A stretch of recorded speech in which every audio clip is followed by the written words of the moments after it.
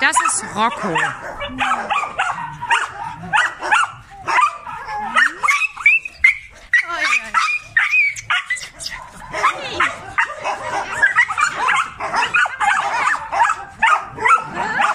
Das ist Rico.